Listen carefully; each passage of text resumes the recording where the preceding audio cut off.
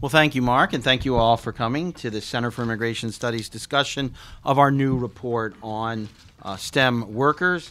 Uh, the report is available if you don't have it. Uh, it will be online, as Mark said, at cis.org. Now, the idea that we need to allow in more STEM workers, that is, science, technology, engineering, and math, people with those kinds of degrees, has become a kind of article of faith among many elites in American business and politics. In the new report we are releasing today, my colleague Karen Zeigler and I analyzed the latest government data and find, and find really what most other researchers have found. Uh, the country has well more than twice as many people uh, or workers with STEM degrees as there are actual STEM jobs. Uh, also consistent with other research, we find only modest levels of wage growth for such workers for more than a decade. Both the employment and wage data indicate that such workers are not in short supply. Now, we're certainly not alone in coming to this conclusion. Reports by the Economic Policy Institute, or EPI, uh, the RAND Corporation, the Urban Institute, and the National Research Council have all found no evidence that STEM workers are in short supply. Um, after looking uh, at the evidence from the EPI report, PBS, which is not uh, often does not say much critical about immigration, even entitled the story on the EPI report, "The Bogus Tech Worker Shortage: How Guest Workers Lower U.S. Wages." Now, Rand's analysis was interesting because it wasn't just looking at what was going on at the time of the study, theirs was backward looking. And Rand concluded despite recurring concerns about a potential shortage of STEM personnel, we find, this is Rand's words, we find no evidence that such shortages have existed at least since 1990, nor that they are on the horizon.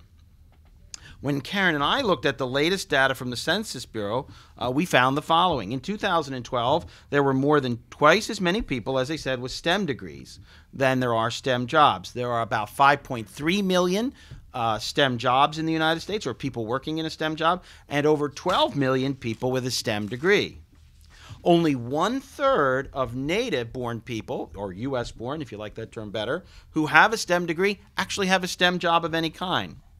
There are 1.5 million U.S. born uh, people with an engineering degree not working as engineers, as well as uh, half a million with technology degrees not working in their field, 400,000 with math degrees working outside their field, and 2.6 million with science degrees working outside of STEM as well. In addition, there are 1.2 million native born people with STEM degrees who aren't working. They're either unemployed or entirely out of the labor market. Now, it is true that unemployment, that is the share of people who have a STEM degree and say they're looking for a job actively, they don't have one and looking, is low, but it's low for all people with college degrees. There's nothing particularly unusual. It does seem that one thing is people with college degrees don't like to admit that they're unemployed or say that they're unemployed in the government data. Um, and this is true regardless of your degree, and it's certainly true that unemployment per se is not high among STEM workers. Now, turning to immigrants, it is also the case that less than half of immigrants with a STEM degree actually have a STEM job. In particular, I find this interesting. Just 23% of all engineers with engineer uh, immigrants with engineering degrees actually work as engineers. Of the 700,000 immigrant STEM workers the data show entered between 2007 and 2012, only one third, very similar to that figure for natives overall, actually got a STEM job. About one third got a job outside of STEM, and actually about one third aren't working at all. The fact that so many recent immigrants with STEM degrees did not find STEM jobs is a clear indication that certainly immigration is a very inefficient tool for adding to the STEM workforce. Most immigrants that we allow in, at least in the recent past, with STEM degrees are not becoming STEM workers. Now, one other point about the supply of STEM workers that sometimes gets missed is that of all the people holding a STEM job in the United States, 31% report they don't have a STEM degree, which reminds us of something um, it, there's about there's about 1.6 million of them. That the STEM workforce is much more flexible than sometimes suppose. Some people who don't get a STEM degree can often do STEM work. This is especially true in technology and computer fields, but it's also true often in science and lesser extent in math and engineering. But in all those places, there are people who didn't get a degree in that area who do that work, and there are people who have no STEM degree who do that work. Now, as I say, it's true that unemployment is not high. However, there are a large number of STEM degree holders entirely out of the labor market, about 1.3 million total immigrant and natives. You can see almost all of these figures just shown in Table 1. Um, but what I think is enor- what is important about the no- enormous number of people, immigrant and native, who are not working in STEM jobs is that this is a huge supply of people who are already here and already trained who employers could draw upon. I mean, another way to think about the STEM worker shortage, of course, in addition to all these people who are STEM trained but not STEM workers, is wages. Wages are one of the best measures of labor demand. If STEM workers are in short supply, as you would learn on the first day of economics, wages should be increasing rapidly as employers try desperately to uh, to offer compensation in an effort to retain the workers they have or to find workers in a limited supply. That's what should be happening.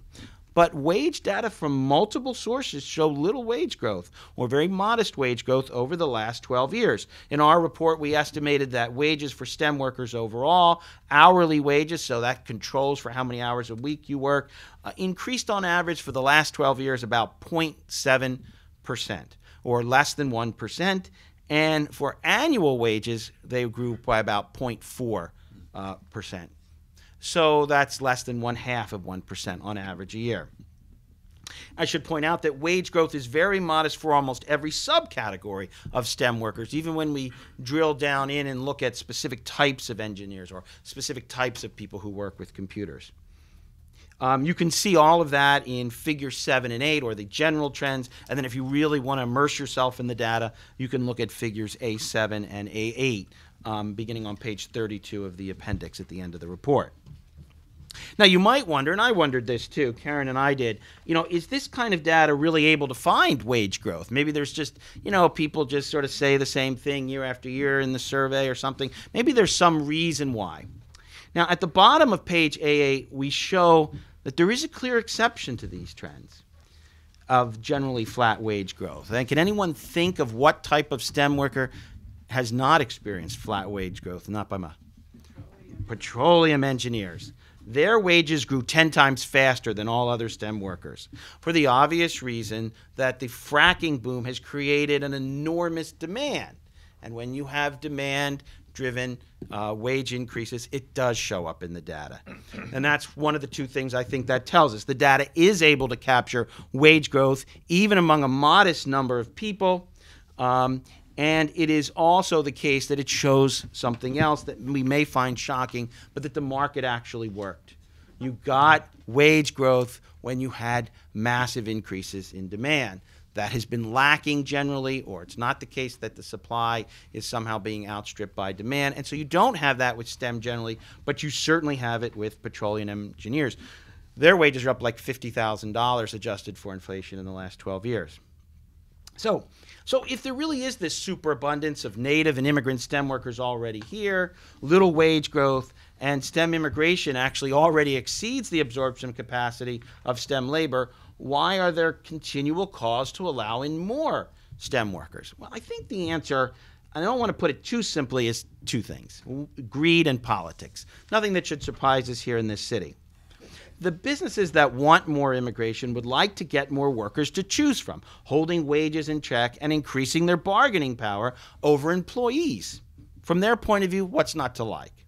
The Republicans, who generally listen to their corporate donors in Silicon Valley and elsewhere, it's not just Silicon Valley, and they respond by promising to increase STEM immigration even further.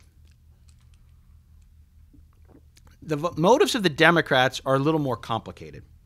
They like the corporate donations as well, but even better, they see increasing STEM immigration as essentially a bargaining chip to get what they really want from Republicans, which is an amnesty, a legalization for illegal immigrants. Democratic Representative Luis Gutierrez has basically said as much, and that's essentially the way they see it. We'll give the Republicans, we'll get their STEM and the corporate donations that they like, and we'll get our legalization. That's the trade off. But in addition to this kind of collusion, if you will, between the two parties to push for more STEM, there are other reasons why the STEM worker shortage is given credence, despite all this evidence, not just from us, but from others, to the contrary. And I think one of the reasons, and Lindsay's an expert in this area or knows a great deal about it, so if you have a lot more questions, you might want to ask him. But one of the reasons is the generally poor performance of American school students in science and math relative to other first world countries. These test scores, which constantly get reported on, create the perception that we are not producing enough scientists and engineers. Now, low relative average test scores are certainly troubling. But as the EPI study, and Lindsay was one of the authors of that study mentioned above, makes clear, um, this does not prevent us from producing a large number of high quality STEM students. America is a huge country, and the STEM workforce is relatively small. For example, it only grew by a million people in the last 12 years. This is well less than 5% of the 20 million students or more than 20 million students who actually got a bachelor's degree in the last 12 years. And that's not counting the millions more who got graduate degrees. Producing a small number of high quality STEM workers out of this enormous population isn't very hard. And I've already said most Americans who get the STEM degrees actually don't even get the STEM jobs. We're actually producing too many out of that large population. Now, another reason for the why we need more STEM work argument is taken seriously is that it is endorsed by many of Americans, most America, many of America's most prominent billionaires, uh, entrepreneurs, such as Bill Gates or Mark Zuckerberg. Um, they're seen as very smart, so what they want must be good for the country what's funny about that is their vested interest in holding down wages and improving their bargaining power vis-a-vis their workers that comes from increasing STEM often goes unmentioned. And unfortunately, too many in the media just simply transcribe their press releases. it would probably be the case to say that when hedge fund managers argue that their income should be taxed at the lower capital gains rate rather than the income tax rate, stories about their lobbying efforts include their vested interest, how much money this would save them. But it is a, a, an odd fact, or maybe not so odd, that often stories about political pressure to increase STEM uh, immigration doesn't include the, vest, the discussion of the vested interests of the employers who are paying for that lobbying. Now, despite this bandwagon, um, let me let me talk about what I think are some potential problems with allowing ever more foreign STEM workers into the country. Again, the number is already very large, but let's talk about what might be a problem. First, the argument itself for doing so is disingenuous at best and dishonest at worst, and it's never a good idea to base public policy on a deception of the public. Second, there are still these are still mostly middle class jobs. And in a large number of american students getting stem degrees are not finding the stem jobs for which they trained. Um, over this uh, over the last few years in fact um, this fact over the last few years coupled with the lack of wage growth can only over time deter american kids in the future from going into these fields and getting these middle class jobs Another reason is another concern I have is that uh, STEM workers are vital to the na- to national security, and having a large share of our STEM workforce foreign born does have important national security implications to think about. Um, fourth, allowing American industry to become dependent on foreign sources of skilled labor means industry, quite frankly, just becomes increasingly indifferent to any problems that exist in our schools making it less likely that these problems will ever be fixed.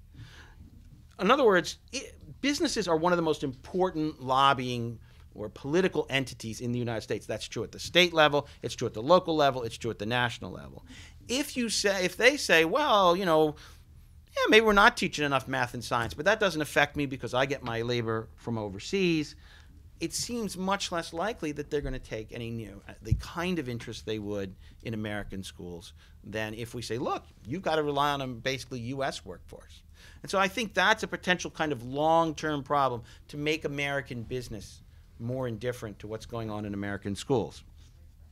Let me just say in conclusion, look, there may be specific geographic areas or a highly techu- technical, specialized field in which demand really is outstripping supply. However, it makes little sense to allow broad public policy to be driven by these very narrow interests. If there is some special need in a highly technical field, then perhaps a narrowly focused immigration program is called for. But overall, the data indicates that the supply of STEM workers vastly exceeds the number of STEM jobs, and there has been only modest wage growth in these professions, a clear indication that the supply of workers is not be, uh, outstripping demand, or the supply demand is not outstripping supply. And in my view, um, these facts are what should inform and shape immigration policy uh, moving forward. Thank you.